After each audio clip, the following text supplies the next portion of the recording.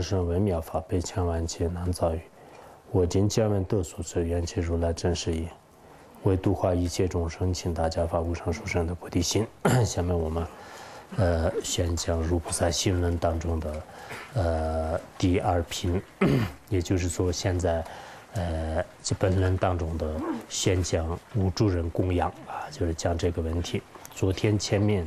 呃，对所有的释放三世诸佛菩萨法宝僧众面前，呃，供养。呃，这个鲜花、良药啊，世间的各种珍宝、陈情的水等等，呃，就做了呃这样的这个供养。那么今天呢，也紧接着讲，在宋词当中这样说的：“巍巍珍宝山，精明异人林，华严妙宝树，真果翠之树。”呃，讲义里面呃解释的时候，呃这样说的：“呃，为我。”呃，告送的金山当宝山，远离喧嚣快乐困扰，呃，舒心寓意的森林，有本身的花朵点缀的无比庄严，呃，累累果树垂杨呢质感的妙树，呃，它这里呢，呃，就是说，呃，有几种贡品吧，就是一个是宝山森林，呃，然后呃果树啊，就是果树花树。那么，啊，第一个也就是说，呃，巍巍的这个镇宝山。那么，巍巍的镇宝山呢，按照居士伦的观点，应该说，呃，我们这个世间当中的，呃，四种珍宝铸成的须弥山，以及呃，诸位有七大金山、铁尾山在内的所有的珍宝铸成的这些山王呢，我们应该在，呃，这个。呃，三宝面前进行供养啊，就是三宝面前，呃，供养。呃，同时呢，呃，除了这个，呃，这个珍宝的这些山以外，我们这个现在世间当中的，现在世间当中的很多的，呃，这种，比如说这个，呃，世界上最高的这个山，就是珠穆朗玛峰啊，或者是我们平常所说的高高的这个喜马拉雅山呐，啊，同时，呃，对于这个寒地而言呢。呃，也有呃四大菩萨经常居住的，呃，就是四大名山啊，就是四大名山。还有呢，呃，像那个什么华山呐、泰山呐、昆仑山呐，等等等这个世间的一些有名的山呢，就是我们也呃可以这样这个呃供养啊，就是供养。呃，那么以前呃那个世界上最长的山脉叫做是安第斯山吧，就是安第斯山，呃，是经过应该七个国家吧。呃，像这样这个最高的、最长的这些山呢，呃，世界上最美的、最美丽的山呢，就是，呃，是这个美丽山，就是也就是说，这个现在呃，在那个就是在这个美丽雪山是在什么新嗯是云南，就是云南那边，呃，香格里拉附近，呃呃，应该说是跟这个西西藏这个附近的地方吧，就是也也有这样的，有人说是这个是非常，呃呃好的。那么不管怎么样，我们作为这个修行人的话呢，呃，经常呃到这些地方去，这个呃草山呐，就是呃游山玩水，有没有这样的经历也很难说。因为很多修行人呢，你学了佛以后，真正懂到佛教的道理以后呢，以前的一些经常呃什么这个搞旅游啊，就是经常就是呃到处这个流浪的这种心情呢，几乎都是没有的。很多人呢。就是像这个专心致志的学习内观，就是这方面，呃，很有兴趣的，呃，但也有一部分人呢，啊，就可能通过各种，呃，这个途径呢，或者是因因为自己的爱好和心情都不相同的，这样一来呢，就是也有可能机会到一些这个，呃，这样的出名的山里面去，呃，那么你到呃到哪里去的时候呢？啊，一方面当然，现在很多人特别喜欢，就是看到一些特别优美的这种山呐，或者是美好的这个风景的时候，马上照相机拿来就是开始拍，呃，这也是可以的，没有什么不可以的。但作为一个呃学习佛法的大乘佛教徒来讲，呃，最关键的就是你看见这些山也好，或者是你听到这些山，或者说呃你这个心里面就是意念出来。在这种情况下呢，一定要啊，从一起供养啊，就是心里面呢，就是把这些全部这个想出来。呃，刚才我们讲那个微微的珍宝山啊，就是微微的珍宝山呢，也我们要这个供养。真正的珍宝山没有的话，那么现在我们呃，不管是尤其是在夏天的时候呢，虽然不是特别出名的，但是经常呃，在这个藏地也好，在别的地方呢，呃，也会呃看见就是许许多多的呃这种这个山脉。呃，那那个时候呢，就是自己。也应该马上心里面想，就是供养这个十方诸佛菩萨。呃，如果这样供养呢，呃，的确，呃，功德相当大。这是我们呃平时在生活当中，或者是在修行过程当中呢，呃，应该呃是不能缺少的一一种行为。同时呢，这里也讲了这个呃比较激进的、没有溃闹的，呃，就是非常呃这种有景的圣山呐，或者是这个森林啊，就是森林。呃，那么这个森林森林的话呢，就是现在世界上呢，呃也是有呃许许多多的，比如说以前呃这个像印度的话呢，就是像那个沉香林呐、檀香林呐，也有许许许多这个非常出名的这种呃这个森林啊，就是也有呃这样的。那么对现在来讲呢，呃，也是呃呃，比如说云南那边的这个呃西双版纳，或者是呃这个。呃，像那个长白山那边的话，那也有一些好的这种森森林啊，就是森林。呃，那么我们以前上市如意宝是这样讲过的，我们呃这个天目山这边，也就是说这个母天女这边的小森林的话，也非常好看啊，就非常好看。尤其是到了春天的时候，到那个小森林里面去呢，呃，也是呃应该是这个很好的。但是现在呢，就是这个地方已经这个划划给这个女宗这边呢，就是一般男男宗出家人呢。啊，不准去的。啊，这是我们这个呃，以前上师如意宝在世的时候也讲过这个供啊。以前花智仁波切呃说呃呃，我们这个入菩萨心论里面的这个呃这样的这个云隐圣灵呢，应该有一个就是呃阿日阿日什么那个在青海那边有个阿日圣灵，呃，这个是呃青海与四川交界的地方。那，原来我们去，呃，上师如意宝呃江省的地方，操拜这个地方的时候呢，也经过那个森林，就是那个是华智仁波切经常说是如菩萨心论里面所说的这样的幽静森林呢，应该是像二十地方的呃这种森林一样啊。我们呃不管是在哪里，就是遇到就是这样的这个松树林也好，有榕树也好，或者是沉香林什么样的这种森林呢？遇到这个时候呢，我们也应该心里面就是观想，就是这个呃观想。也可以，或者说是移去也可以。然后呢，就是供养这个十方诸佛菩萨，就是应该这样，呃，像，呃，同时呢，呃，就各种呃鲜花、呃岩石的、呃珍宝的这个树啊，呃，或者说是我们这个现在就是蔬果累累的一些，呃，这个呃像苹果树啊、梨子树啊等等，就是许许多多的这个人们呢，就是从家园当中也好，或者是一些果树园里面的这些呃树木花果。看见的时候，我们一定要啊，心里面想，就是那么好看的这个果树啊，马上就是向这个供养十方诸佛菩萨啊，就向十方诸佛菩萨。那么这就是是一种这个一曲的供养。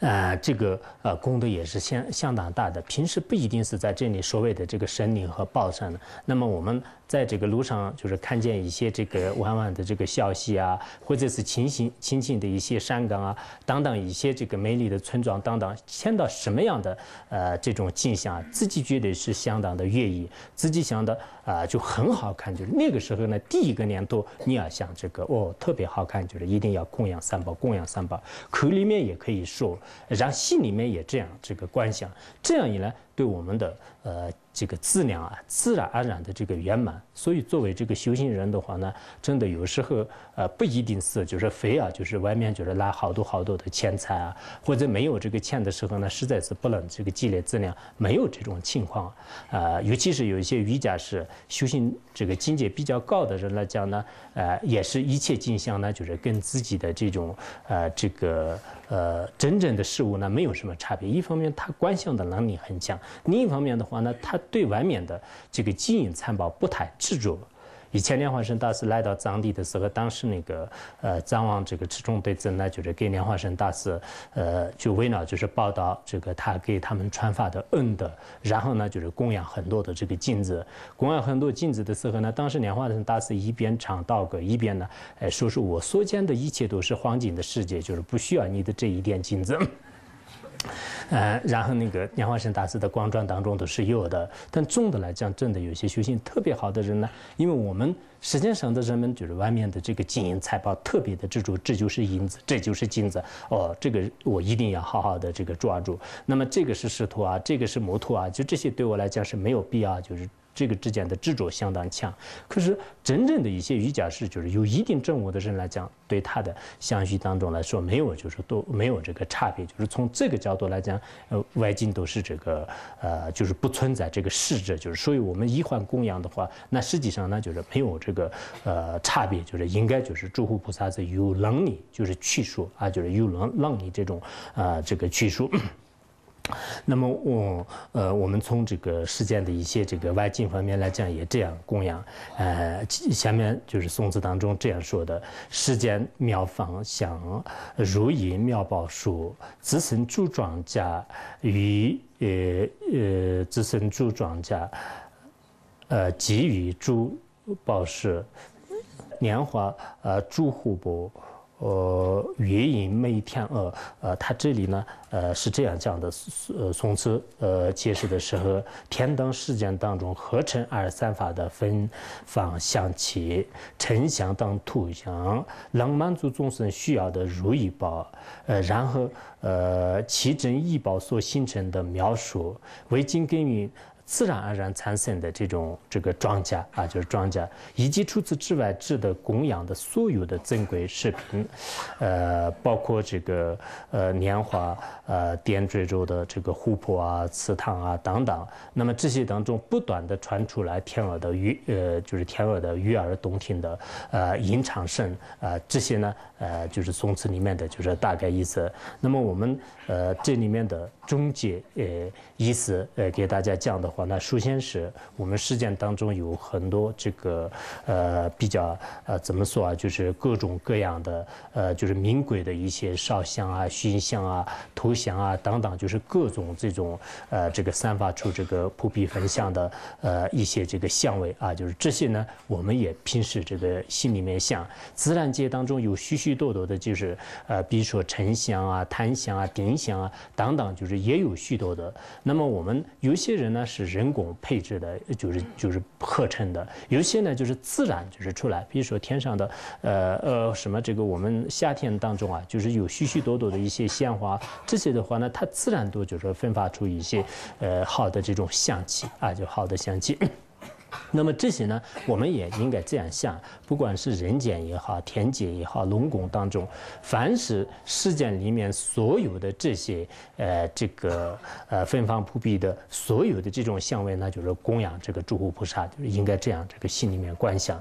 然后这个至于如意呃报数啊，就是如意如意报数的话呢，呃，我们呃经常也这样讲过，以前那个人们这个福报特别多的呃大的时候呢，就是也有呃众生的福报而。这个形成的这种如意树啊，如意宝树，呃，然后三十天三天当中呢，就是也是有他们的这种山野而形成的，也有这个如意宝树啊，就是这些如意树呢，啊，我们也应该这样这个像供养。那么现在真正的这样的这个如意树没有的话，那实际上就是有许许多多的一些，呃，比如说我们看见一些呃什么这个白树啊、松树啊，还有一些这个檀香树啊。等等，就是各种这个参天大树啊，见到的时候呢，我们就是第一个念头要想，就是这个树是那么好看，那一定要这个供养。尤其是有些人这个坐车的时候，在这个路边呢，就是经常啊，就是看见就是一棵棵的这种大树啊，就是或者一排排的，就是就在这个呃试过你的这个眼前。那那个时候呢，就是想啊，就是供养这个诸佛菩萨，就是心里面一直需要这样的这种喘息。啊，就需要这种，呃，穿鞋。然后，呃，以前这个人们这个刚开始这个出街的时候呢，实际上当中没有经过耕耘的一些，呃，自然庄稼啊，就是自然庄稼，或者说白居露珠呢，啊，就是也有这个以他们的福报而形成的一些自然庄稼。那么这些自然庄稼呢，我们心里面也要观想，就是供养诸佛菩萨。如果呃现在真正的这样的未经过耕耕耘的自然庄稼没有的话，平时我们。呃，在这个眼前看见的一些稻田呐、麦田呐，或者是玉米田呐，就是无边无际的一些呃这个田野啊，就是这个田野呢，有时候尤其是到了这个秋天的时候，啊，就是在这个微风的吹动下，就是好像是一个金色的波浪呢，就是就呃不断的在这个呃绵绵起伏一样的这种感觉，就是就觉得是这个特别的呃这个好看，不管是这个夏天也好。这个春春天、秋天，就是它这个田野呢，就是一直在就是变变，就是不同的这种颜色。这种景象呢，一般我们这个呃，在这个坐车的时候也好，就是在哪里去的时候，经常也是看的。尤其是像新疆一带、东北一带、东北一带这一带的话呢，就是有些这个田野啊，就是这个特别的广大。就是在那个时候呢，如果有观象能力的话，那就是把这个自己眼前的这些景象全部就是供养啊，诸佛菩萨。这样呢，啊，当然这个功德是呃相当大的，就是同时呢，它这里也已经讲了，就是呃这个各种白色、红色、黄色等，就是各种颜色啊，就是所。嗯，就是点缀着或者是所装饰着的一些湖泊啊，这个实际上呢，啊，就比较这个出名的湖泊呢也比较多的，比如说呃，像那个洞庭湖啊、朝阳湖啊、就是鄱阳湖啊啊等等，就是有很多，还有这个杭州的西湖啊。但杭州的西湖，我那天看见一个地理杂志，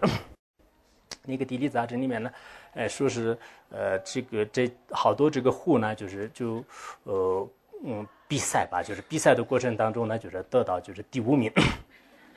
第一名是应该是青海湖。呃，青海湖古代的时候也是非常的呃出名，就是因为人们都这个用赞叹它的时候呢，就像是那个呃，就是松石呢，就是就变成这大海，玉石变成大海，就是有很多史学家呢，就是有不同的赞美词。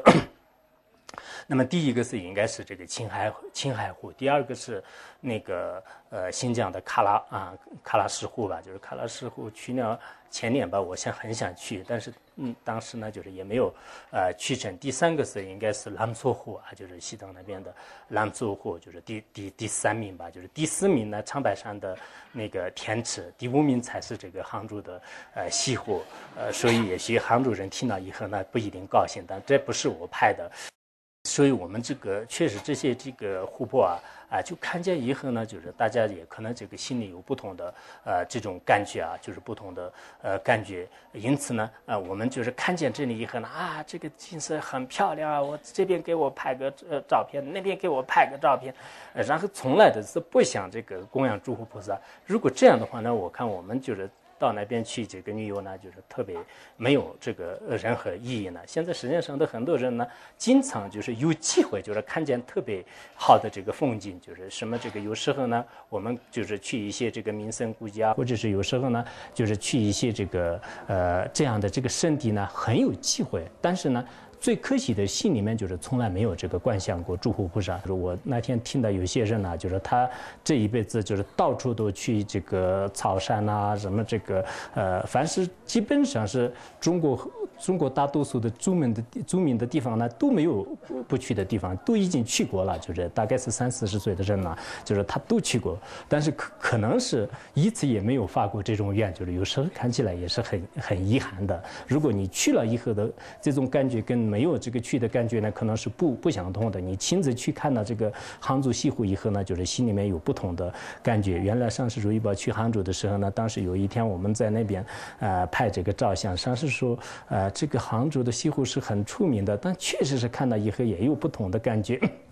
当时他老人家的是，也是这个这样啊赞叹啊，就是这样赞叹。所以我想呢，就是去了以后可能是有不同的感觉。但是呢，呃，我们这个发过这样的愿没有供养这个诸佛菩萨，就这样恐怕很多人是啊没有这个呃想过啊，就没有想过。那么啊，以前上师讲如菩萨行论的时候呢，也是这样说过，不仅是我们现在所谓的这个水池啊、湖泊啊这些呢，也应该这个供养，而且呢，我们现在世界上的什么这个北冰洋啊，是 什么那个大西洋啊。啊，然后这个印度洋和太平洋当就是这些呃大的这个海洋啊，就是这些呢也应该就是就是心里面就是观想供养，就是如果我们这个乘飞机就是越过这些海洋的时候呢，就是心里面也是应该呃观想。那么这样观想的话呢，实际上就是这个呃功德就是相当大的，就是我们平时的一些这个财物啊，这些呃虽然我们有时候呢就是吝啬心不能这个供养，有时候供养的话呢就是没有那么多的这个。价值啊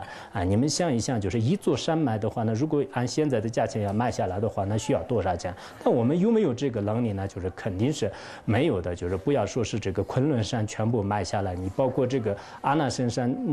卖下来的话，那恐怕很多人就是比较困难的。所以呢，呃，我想呃那个呃，就是大家就是平时看见就是这这样的这些呃好的这个环境的时候呢，就是第一个念头就是供养诸佛菩萨，就是应该供养三。宝就是有这么一个连图，就是这一点就是细微的重要。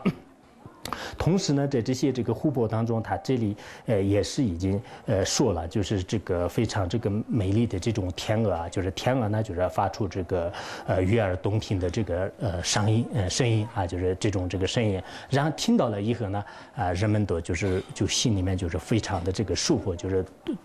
因为一般来讲的话呢，就是天鹅是，呃，在这个飞禽当中呢，应该说是非常非常美的一种这个鸟，呃，尤其是我们这个印度和这个藏地啊，就是许许多多的这些诗人呢，就是许许多多的这种诗学家呢，就是经常呃用这个天鹅，就是做这个呃比喻来，就是赞叹诸佛菩萨的这种这个美妙动听的呃这种这个山宝的声音啊，或者说呃有许许多多的这方面的这个赞词。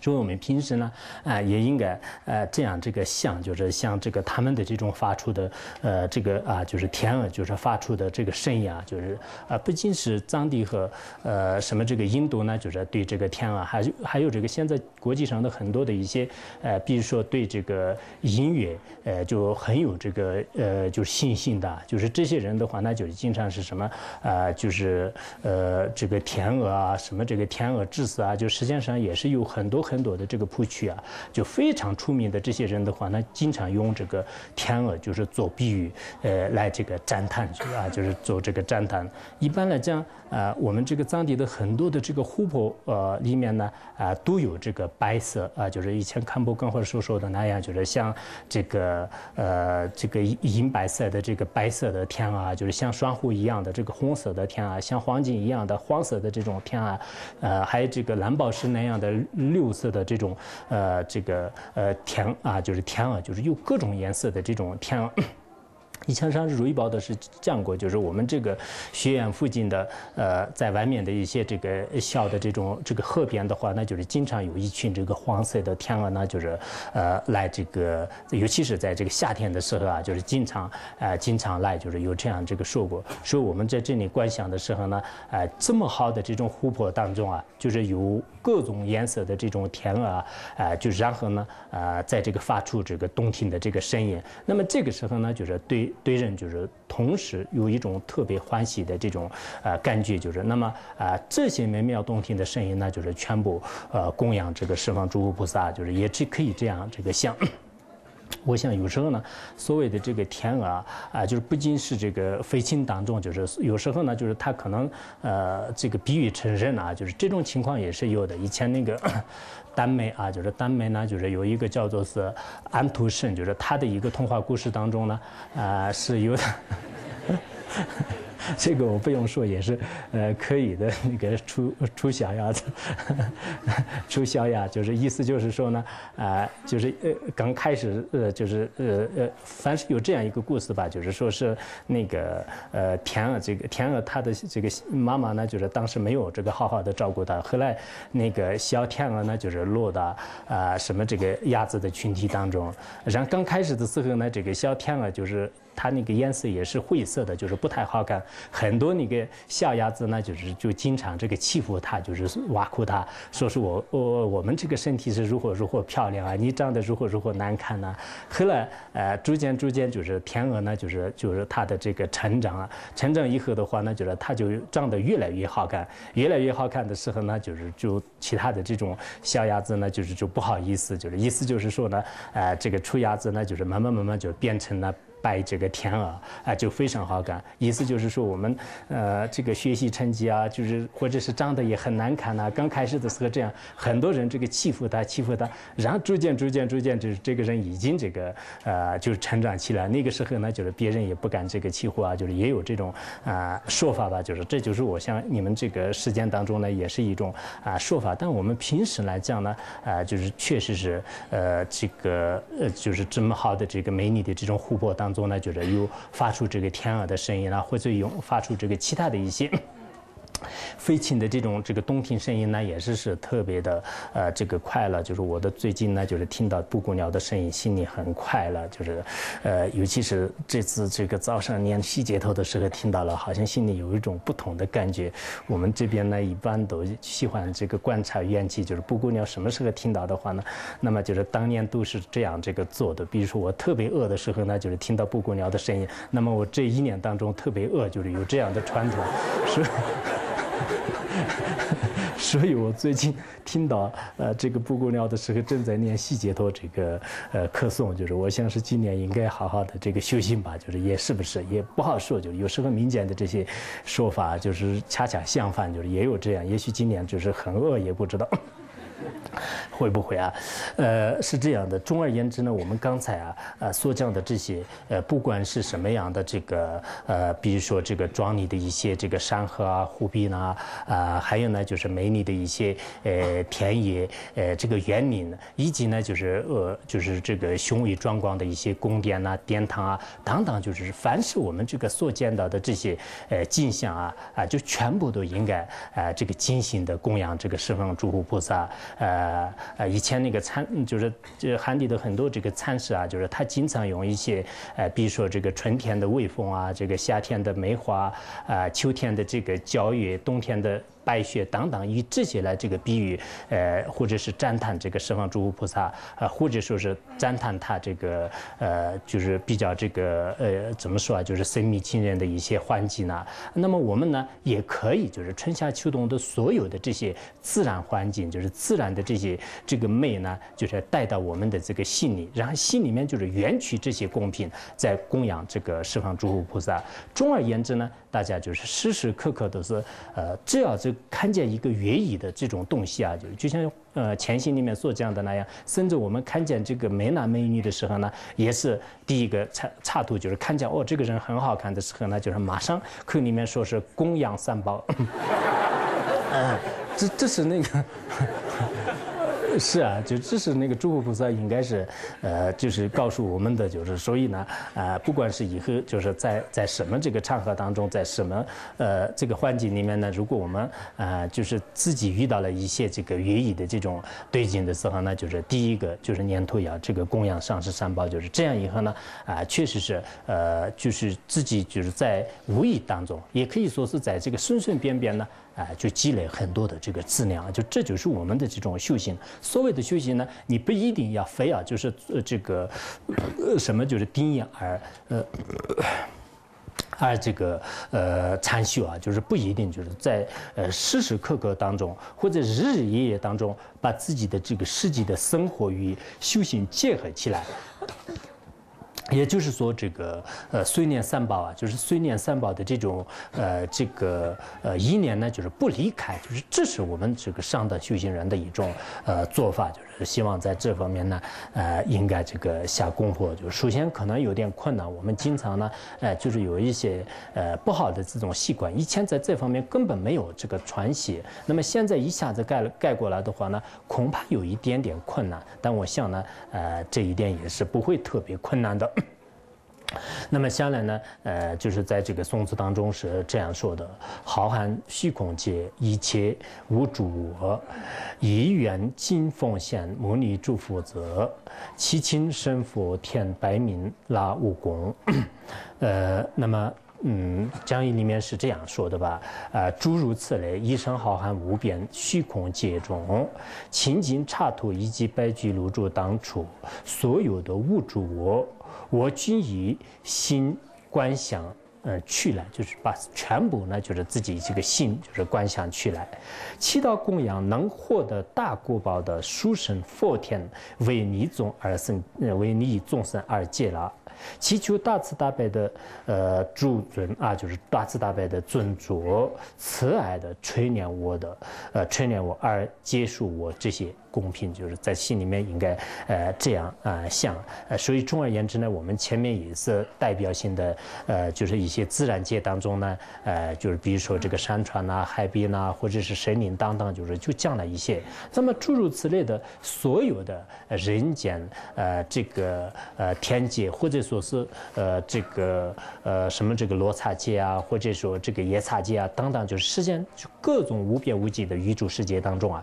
所有的这些公平呢，呃，全部呃，在这个心里面就是愿去啊，就是心里面去这个观想，观想以后呢，啊，就我们实践当中的最殊胜的佛天，就是这个释迦牟尼佛和他的这个呃什么呃大乘这个呃僧众，在这些僧众面前呢，我们这个一一的去供养。这样供养的话，他们是殊胜的佛田啊，殊胜的佛田。就像我们以前呃故事里面讲这个阿难尼呃国王呢，啊他的这种来源呢，也大家都知道，就是给别人这个做简单的布施，然后那个 有这个许许多多的一些。啊，就是对诸佛菩萨这个供养的功德色，就是非常非常大的啊，非常大的。这样以后呢，我们应该像就是今生当中遇到这样的这个殊胜的佛田，我们是非常有福报的。哎，心里面就是这样想。那么供养的时候呢，前面我们五诸菩萨所讲到的这这个供养的六种条件也应该这个记住，应该这样记住。呃，或者说无诸菩萨啊，就是那个印度的无诸菩萨呢，就是在这个提萨呃菩萨地。论当中是也讲了这个呃五种条件吧，就是第一个呢，啊就是像这个呃所谓的三宝呢，就是像这个无上的这个功德者啊，就是第第一条就是这么像啊，就是这个三宝呢，就是它有无上的这个功德，就是这是第一个。第二个呢，啊大家的像要向这个获得这个三宝呢，就是对对对个对我们的话呢，获得呃无边的利益。啊，就是无边的这个利益，就是这是第第二条，就是这样想。第三条呢，啊，也就是说啊，这个在所有的这个众生界当中呢，就是佛陀呃，诸佛菩萨，就诸佛菩萨是最最呃这个至高无上的啊。就是第三个呢，就是应该这样这个想。第四个呃，所谓的这个三宝呢，就是像这个昙花啊。难嗯很难与这个现在事件当中一样，就是非常难得啊！就是第四个应该怎样想？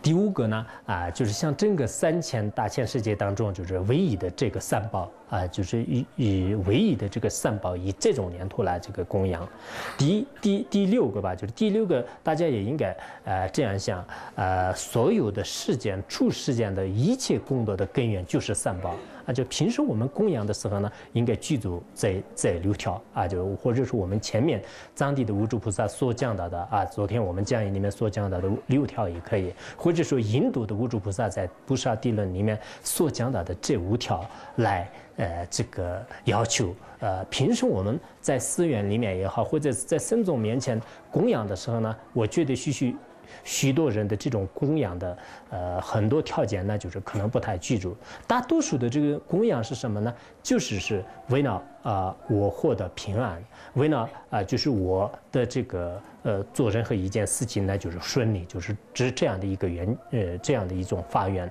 当然，我们呃，如果自己遇到了一些违缘呐、困难呐，那个时候你就呃，马上到寺院里面去，这个功夫烧呃什么这个烧香功夫，然后在佛面前这样祈祈祷，有没有好处，有没有帮助呢？除了你这个前世的不可逆转的一些业力以外呢，当然是有的。所以呢，我并不是呃这个呃所有的这种供养的时候呢，你一定要就是呃为利益众生，不能有自私自利的心，这个。也不是怎么话不是这么说的，因为每个众生的需求都是不同的。所谓的三宝呢，就是是无上功德的来源。既然它是无上功德的来源的话呢，那么我们有很多很多的请请求啊，通过这个白衣经呢，通过一些佛教的经典里面也可以看得出来，佛陀在世的时候也有许许多多的一些施主、施主啊、婆罗门呐，一些国王，他们也在三宝面前的这个要求是不相同的。有些呢就是求自己的这种这个没有孩子，就是求子的也有；有些呢就是呃这个呃不下雨，就是然后呢就是有些农夫呢就是在三宝面前求雨，就是这这种也有；有些呢就是自己。特别贫穷，就是祈求这个发财，这样也是有的。所谓的这个三宝呢，应该所说是，除了你这个人是业力非常深重的人以外，只要在三宝面前祈求的话，那就是三宝一定会是赐予你的这种洗涤啊，就是赐予洗涤。因此，我们呃应该在这个这么好的这个殊胜的佛田面前啊，就大家应该这样想啊，就是我这次呢，就是在遇到了这么好的这个殊胜的佛田，我在呃这个三宝面前，就是好好的这个供养，希望就是三宝呢，就是赐予我的这种这个价值，并且呢，就是就接纳我的这种公平啊，就是这样来这个观想，呃。呃，下面呢，呃，就是宋词呃当中是第二个问题，也就是说供养必等之缘由。前面我们呃呃上面我们讲了呃无有助人的这些很多公平呢，呃就是供养。那这样供养的话呢，有什么样的理由呢？下面宋词当中这样讲的，呃，福不我贫穷，无以堪供财，祈求赐护主，呃，离我数次功。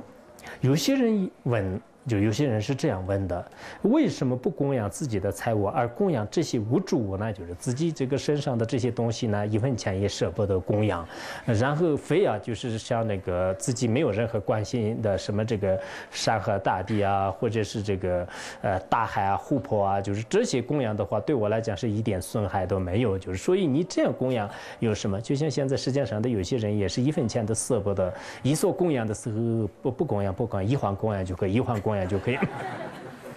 那这种这个做法是什么样呢？就是下面讲这个原因。由于我王心没有积累过福德资粮，所以呢，就是极其的贫寒。除了这些公平以外，我实在是没有任何其他可以供养的财物。当然，自己一点没有供养的财物的情况下，这种供养也有。有些的话呢，虽然我有供养的，但是我们刚才所讲的那样的，就是像那个整个呃须弥山呐，或者说是我们这个四呃四大部洲的所有的这些大海啊、湖泊。那这些我用钱来买下来的话，那恐怕是这个买也买不到的。就是这些呢，呃，应该这个买也买不到。即使你买得到的话，那你今生当中是没有这个福报，你钱是没有积累资粮。以前的一些转轮王啊，以前的一些古代的这个大王的话呢，就是有这种福报。但现在我们呢，再怎么富裕的话，恐怕是没有这个，呃，没有这个福气啊。我看见一些香港啊，或者是一些南方的一些大老板，他们自己认为也是非常有钱。然后我把这一座山买下来，其实。一个小小的一座山，就是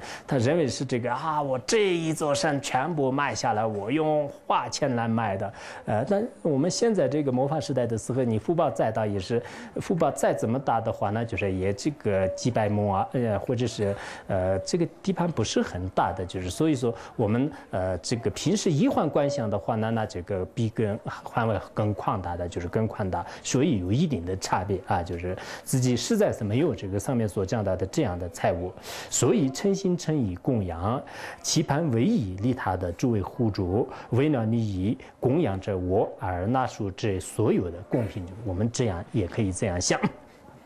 因为诸佛菩萨呢，实际上是呃，在一些以前的药师经里面所讲的一样的，他呢就是并不缺，就是这些财物，呃，也并不需要呢，就是我们这个供养以后他得到很大的帮助啊，并没有这个呃必要。为什么要供养呢？啊，诸佛菩萨虽然就是一切功德的圆满，嗯，所以呃不需要这些，但是我们。呃，如果这样供养的话呢，一方面断除我们自相续当中的吝啬性啊，就是吝啬性和贪心；另一方面呢，我们依靠这种方式来供养释放诸佛菩萨殊胜的对境，思想序当中的这个福德资粮和智慧资粮呢，很快的时间里面会圆满啊，就是有这些呃这个必要。所以我们这样就是像就是释放的所有的诸佛菩萨，我今天呢就是有观想这么多的这个公平供养啊，那么你一定要以各自不同的这个身边圣同你借了我所供养的所有的这个贡品，应该怎样想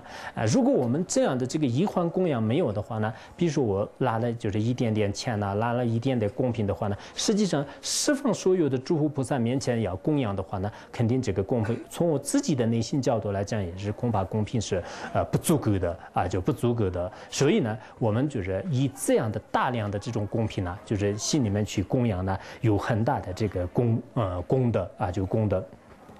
那么我们有人可能这样想，这样的这种供养呢，是不是藏传佛教、藏传佛教的一种特殊说法呢？还是是真的是这个佛经里面也是有记载啊？就是可能会这样想。实际上，呃，吉天菩萨所讲的这些道理呢，呃，大多数都是在这个呃这个什么这个学记论当中是也引用校正啊，就是也引引用这个校正的啊。比如说那个呃三桥方便记呢，就是三桥方便记里面呢，也是这个当时。佛陀，呃，就是告诉那个诸大菩萨，呃，他是这样说的，就具有三巧方便的这个菩萨的话呢，那么就是他用他的智慧来接受释放的所有的现化画曼啊，这个描像图像，以及呢，啊，就是呃山河大地等等，就是全部。无诸物的，就是没有这个助人的这些贡品呢，没有诸诸物的这些贡品呢，全部供养这个祝福啊，就是全部供养这个祝福。所以呢，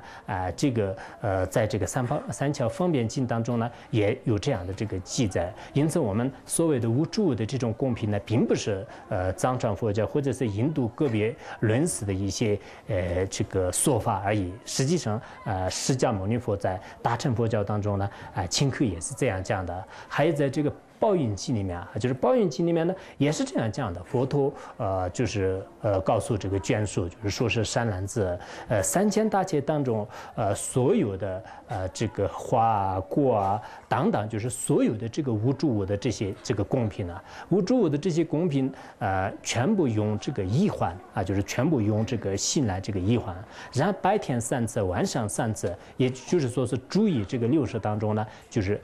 三次供养这个呃十方诸佛菩萨啊，就十方诸佛菩萨啊，就这样呢，就是呃有有无数的这个功德，并且呢，就是功德回向给众生啊，就是回向给众生。啊，所以呃，通过这些啊，就刚才包运经呢、三桥方便经呢这些大乘经典的呃这个呃道理来进行观察的时候呢，我们也呃很容易知道，很容易知道什么呢？啊，就是呃这个无诸我的这种供养呢。啊，就是一定是这个释迦牟尼佛大乘经典里面的最深深的一种呃依据。平时我们在这个生活当中呢，呃，一定要啊这方面呃去这个供养。当然，在供养的过程当中，现在实际上是有这样的这个情况，啊，就我刚才所说的那样，就是平时呢啊，就心里面观想就可以，随喜就可以，一换就可以。实际实实际上呢。就是连真正让他这个供养的话呢，在家里面佛像面前就是做这个一盏灯的这种舍心也没有的，供养一根香也是个舍不得的。有一些呃，就是什么就什么都是这个口里面说的特别漂亮，就是一定要就是全部是空心的，一定要大悲心的。但实际上呢，啊，比如说这个放生的时候呢，就是买一条终身生命的这个钱也是拿不出来啊，就是舍不得拿，就是也可以这样说。原来我有一次看见有一个说是是基于。这个几亿人民币的这个资产的一个大老板，他说说我们要放生，我们要放生，我很高兴，就是他肯定拿出来很多钱，结果第二天真正要放生的时候拿出一百块钱。然后一般来讲的话呢，你看几亿元人民币当中是拿出一百块钱的话，那应该说是是一根汗毛都不如。就但有时候呢，就是人的这种根基啊，当然是这个成熟的呃程度是不相同的啊，就是这个根基成熟的呃相嗯不相同的。以前我们这个有些呃，当时我在好像日记里面也写过吧，就是学院当中有些人的话呢，连自己就是连吃的都没有，但是钱呢就是全部就是呃这个捐到这个做放生呢，就是也有这种情况。啊，当然，我们的这个智慧的力量、心性的力量。背心的力量都是不相同的。一般来讲呢，呃，我们这个所谓的修行呢，并不是全部就是用在什么这个特别好听的这个语言来解决问题，这不是一个办法。虽然我们在佛经当中呢，有什么碎细的这个功德跟这个亲自做的功德一样啊，还有一些这个一环供养的功德也是是就是超过了我们这个一般的这个公平呢，又有这样的这个说法。但是我们刚才在宋词里面所讲的那样，就是那么它的这个意义呢，也就是说自己是实在是没办法贫穷的人呐，这这种人呢，作为一些出家人呢，或者是作为一些这个佛教徒的话呢，那你自己特别真的特别贫穷，你觉得是在十方诸佛菩萨面前也好，你的这个上师面前也好。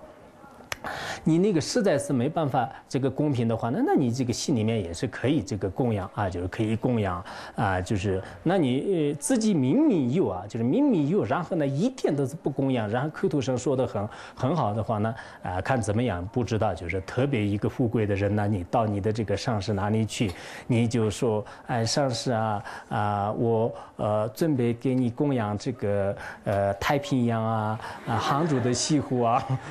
你这样说。说的话呢，不知道这个上师是什么态度，这个我也不太清楚。但总的来讲呢，呃，这个呃，这个十方诸佛菩萨面前呢，我们也应该就是凭自己的这种信心和力量，就是这个很重要的。没有一点这个信心呢，当然自己这个这些公平呢，对这个真正的一些三上师和三知识来讲的话呢，应该说是对这些这个财物啊公平的话呢，就是应该说是他个人来讲是不会是贪执的。如果他贪执的话呢，那么就是说明。呃，真正的达成这个三知识的法相不具足。前一段时间我们不是讲了吗？达成三知识的这个条件当中啊，这个上师是很喜欢财产呐，这个上师是很喜欢这个富裕啊，就是没有这样的这个说法，就是没有这样的这个说法。那么达成上师的这个三知识的条件呢，唯一的就是达成佛法是这个呃遇到生命危险也不舍弃的，然后呃对这个大乘经典呢精通无碍，就是这就是大乘三知识的一种特点。但现在魔法师。来的时候呢，有时候确实是好的三知识和不好的这个上师呢，也是是鱼龙混杂，就是分不清楚。在这种情况下，我想呢，